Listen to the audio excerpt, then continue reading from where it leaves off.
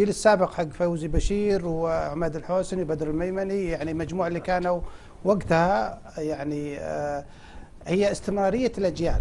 لابد أن يكون لابد يكون الجيل لما يطلع يكون ممتاز ما أركن إلى هذا الجيل هذه الأسماء. لازم أعمل على أني أطلع لاعبين يستفيدون من الجيل هذا حتى تكون في استمرارية.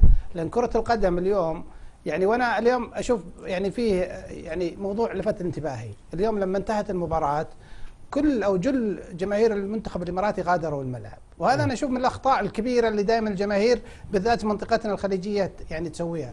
اليوم المنتخب الإماراتي ما هو اليوم لما خسر البطولة خسر كل شيء. هي خسر بطولة وفي بطولات جاية. اللاعب لازم يشعر أن الجمهور أنا قاعد أشجعك في كل الأوقات. في الفوز والخسارة. يعني إيش كان يضر الجمهور لو قعدوا ربع ساعة وحيوا اللعيبة واللعيبة حيوهم؟ بس طبيعي. وغادروا الملعب. طبيعي. وغادروا الملعب. طبيعي. لا لا مش. طبيعي. أنا كنت حضرت أنا حضرت لا لا. مش في كل مباريات من العالم. يوم ما أنا حاضر نهائي. الخاسر جماهيره لا لا مو. صحيح. حتى من قبل لا مو. صحيح. أيوه، لا مو أيوه، صحيح. أنا حاضر نهائي أوروبا بين برشلونة وجوفنتوس. إيه. فايز برشلونة 3-1 ما غادروا جمهور جوفنتوس المباراة إلا بعد ما سلموا الكاس وطلعوا الناس. بدوا يغادرون غادروا. وكيف تقول لي ب- هذا ثقافة ثقافة الجمهور الجمهور. أنا ما أشجعك عشان بطولة ولا أشجعك عشان مباراة. طبيعية. هذا في لأنه أنت. نفس الثقافة. هي نتكلم على ثقافة الجماهير الكروية. أنا أرتبط في النادي هذا ما هو ارتباط بطولة. لما تخسر إيش يا أخي راح واطلع من الملعب. مو صحيح. أنا لازم.